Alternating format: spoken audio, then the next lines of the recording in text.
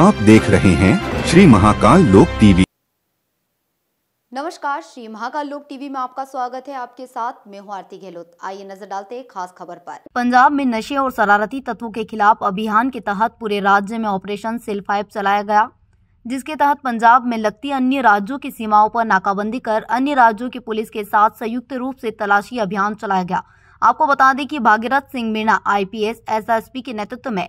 जिला श्री मुक्तसर साहिब के साथ हरियाणा और राजस्थान की सीमाओं पर संयुक्त रूप से नाकाबंदी और तलाशी अभियान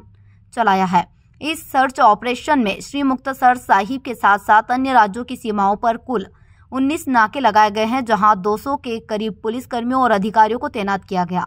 इस मौके पर जिला पुलिस प्रमुख ने जानकारी देते हुए बताया कि लोगों की सुरक्षा को ध्यान में रखते हुए और लोगों के बीच सौहार्द बनाए रखने के लिए आज ऑपरेशन सेल फाइव के तहत नशा तस्करों शरारती तत्वों और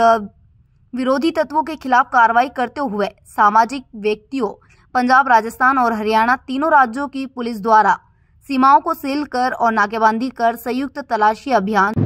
ਅੱਜ ਆਪਰੇਸ਼ਨ ਸੀਲ 5 ਦੇ ਤਹਿਤ ਮਾਨਯੋਗ ਡੀਜੀਪੀ ਸਾਹਿਬ ਕੇ ਦਿਸ਼ਾ ਨਿਰਦੇਸ਼ਾਂ ਹੇਠ ਅਸੀਂ ਮੁਕਤਸਰ ਡਿਸਟ੍ਰਿਕਟ ਦੇ ਵਿੱਚ ਟੋਟਲ 19 ਇੰਟਰ ਸਟੇਟ ਪੁਆਇੰਟਾਂ ਦੇ ਉੱਪਰ ਨਾਕਾਬੰਦੀ ਕੀਤੀ ਹੋਈ ਹੈ ਜਿਹਦੇ ਵਿੱਚ ਅਸੀਂ ਅਪਰੋਕਸੀਮੇਟ 200 ਮੁਲਾਜ਼ਮ ਡਿਪਲੋਏ ਕੀਤੇ ਹੈਗੇ बेसिकली जो इंटर स्टेट नाकाबंदी ਦੇ ਵਿੱਚ ਅਸੀਂ हरियाणा पुलिस और राजस्थान पुलिस के साथ जॉइंट ये नाकाबंदी की हुई है हरियाणा पुलिस ने भी अपने बंदे डिप्लॉय किए हुए हैं और राजस्थान पुलिस ने भी अपने बंदे डिप्लॉय किए हुए हैं बेसिकली ऑफ सील फाइव का जो मेन मोटिव हैगा वो ये हैगा कि जो भी एंटी सोशल एलिमेंट हैगे उन्होंने ऊपर नकेल कसी जाए उनके मनाते हुए एक भय पैदा होगी पुलिस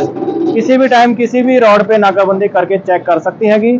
ਔਰ ਲੋਕਾਂ ਦੇ ਵਿੱਚ ਇੱਕ ਸੈਂਸ ਆਫ ਸਿਕਿਉਰਿਟੀ ਦੀ ਭਾਵਨਾ ਪੈਦਾ ਕਰਨਾ ਹੈਗਾ ਅਸੀਂ 8 से 2 बजे नाकाबंदी कर रहे हैं 2 बजे फिर जितनी भी कोई प्रोग्रेस होगी वो ਅਸੀਂ कंपाइल करके ਤੁਹਾਡੇ ਨਾਲ शेयर करेंगे फिलहाल इतना ही अधिक जानकारी के लिए आप बने रहे श्री महाकाल लोक टीवी पर नमस्कार